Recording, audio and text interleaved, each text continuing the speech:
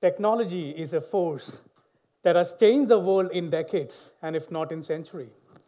And as we move forward in time, technology becomes more powerful and influential than ever.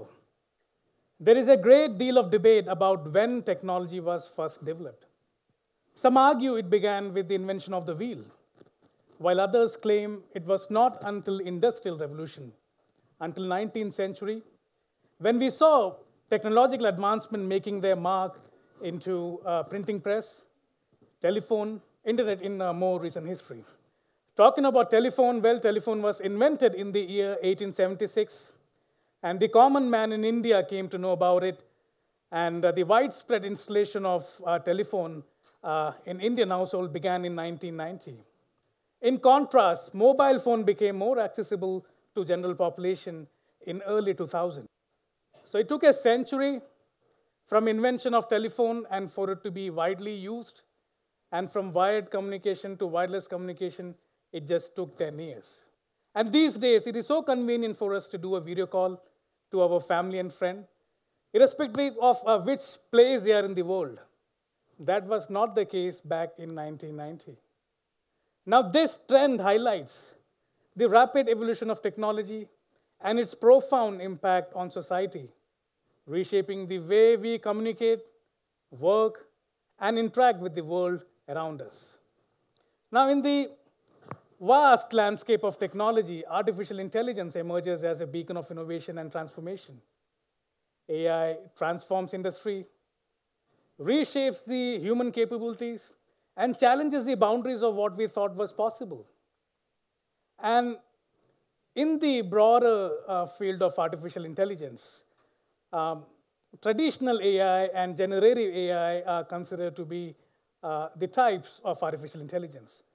Traditional AI involves creating algorithms that follows predefined uh, rules and logics.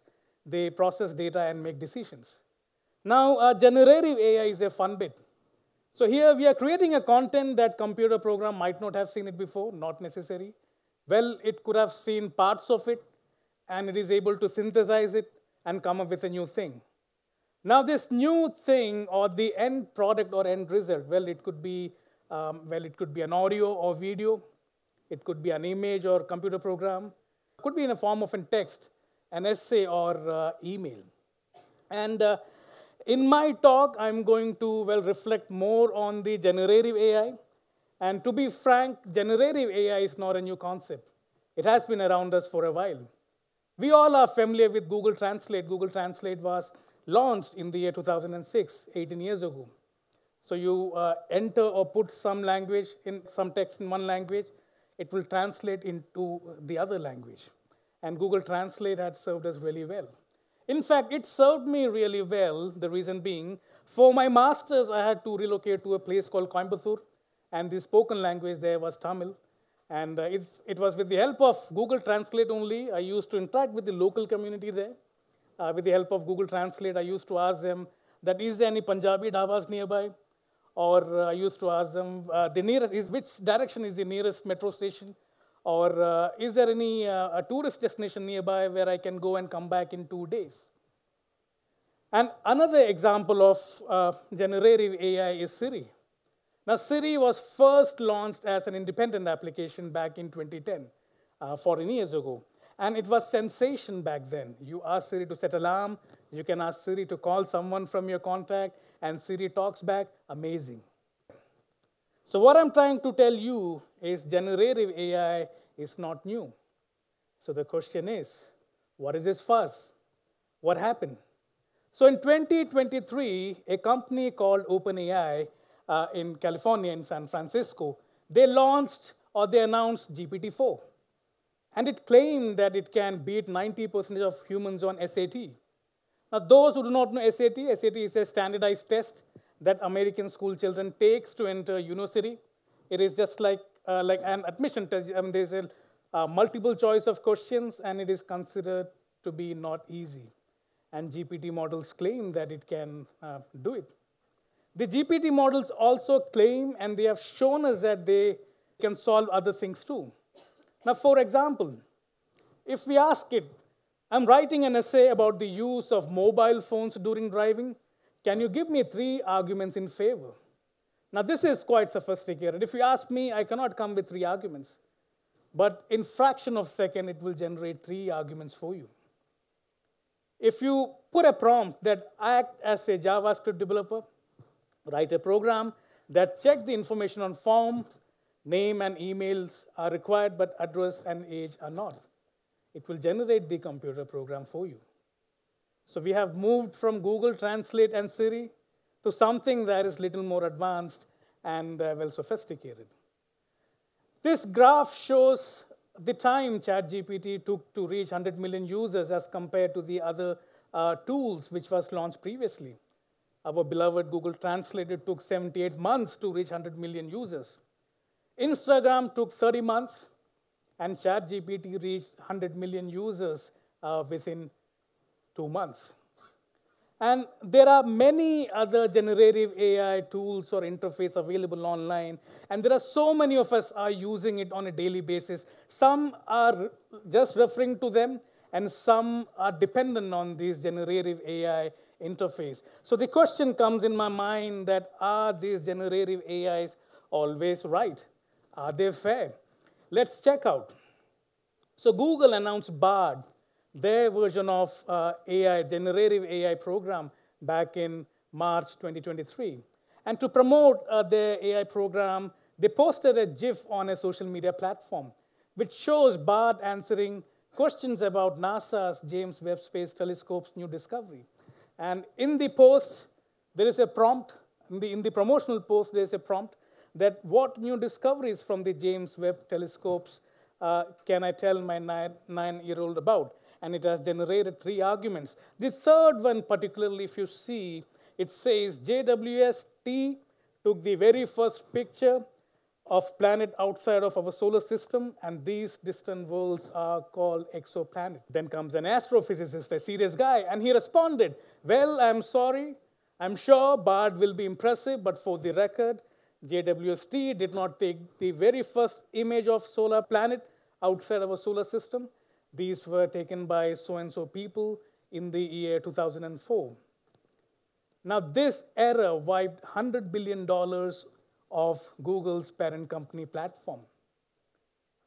Me, along with uh, five of my other colleagues, we tested the other uh, generative AI platforms available online. I mean, to one such, we asked a question that is the UK monarchy? It responded, yes, the United Kingdom is a constitutional monarch. Currently, Queen Elizabeth II, as of my last update, is a monarch. It does not know King Charles is a monarch now. We asked it, who is Rishi Sunak? It responded, as of my last update in January 2022, Rishi Sunak is a British politician and he served as Chancellor of Exchequer. It does not know Rishi Sunak is a prime minister. I asked it to tell me a joke on men. Well, it responded, Why did the man put his money in the blender? Because he wanted to make liquid acids. And when I asked it to tell me a joke about women, but it denied to comply with my request. So I had a follow up question to it why? And it responded that as an AI, I adhere to strict ethical guidelines and that prohibit me from generating or promoting content that could be considered offensive towards a group of people, including women. Now, with these examples, what I'm trying to tell you or make point that is that it is impossible to regulate the content that AI programs are exposed to. And there's always going to be historical biases. And there will be few occasions where it will exhibit favorable or uh, unfavorable behavior. Now, what you see on screen is a soccer match at Google's DeepMind and looks like fun. But here's the thing the engineers at DeepMind did not program these robots to play. The engineers used motion capture technology to teach these AI programs how to move like humans. And the only command that was given to these robots were to score. Now, with this self learning program, and the practice, they got better and better. And they learned this game by themselves, coming up with different strategies, different way to walk, different way to block, scoring over and over again. These are the kind of you know experiment or the research you know through which you will see or you will find robots coming out of factories and they will be working in few of the human environment uh, like mining dangerous construction sites uh, exploration and uh, disaster recoveries now another uh, like i would like to uh, mention one more like one of the greatest achievement of this company google deepmind that proteins are considered to be the fundamental components of all living organism, including humans.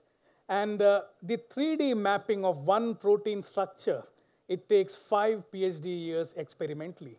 So Google came with one uh, AI interface. Well, uh, it, it, I mean, took them uh, to make five years, and once complete, it predicted 200 million protein structures in matter of seconds that are known to science. And once they predicted, I mean, these protein structures of 200 million, they uh, like publicized, I mean, this database, a gift to humanity.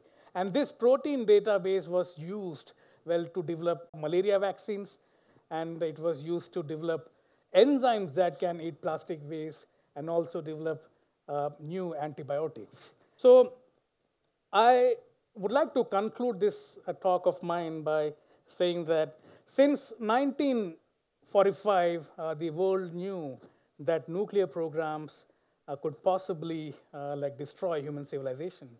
And we also knew it can benefit human civilization by providing inexpensive and plentiful energy.